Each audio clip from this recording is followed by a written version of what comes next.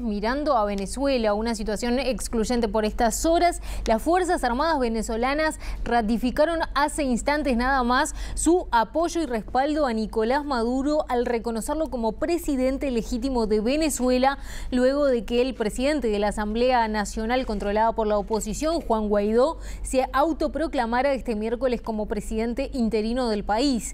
Se trata de un pronunciamiento que adquiere especial relevancia al considerar que ante esta situación en la que ahora hay dos personas que se definen como presidentes de Venezuela. El poder real lo tiene al fin y al cabo quien tiene el apoyo de las fuerzas militares. Guaidó lo que dice a su favor es que aunque las Fuerzas Armadas y los, los altos mandos se mantengan unidos y se muestren unidos, lo que hay es descontento a la interna de la tropa. El ministro de Defensa del gobierno de Nicolás Maduro, Padrino López, dijo en conferencia, estamos viendo las imágenes, hace minutos, lo que pasó ayer es sumamente peligroso, es vergonzoso, da pena lo que está ocurriendo. También dijo que lo que se está intentando hacer es imponer un gobierno paralelo de facto. En nombre de las Fuerzas Armadas expresó, seríamos indignos de portar nuestro uniforme si no defendiéramos la Constitución porque hemos jurado morir por nuestra patria. Además, rechazó los actos de injerencismo de gobiernos internacionales y agradeció la buena voluntad de aquellos gobiernos que propician el diálogo y el entendimiento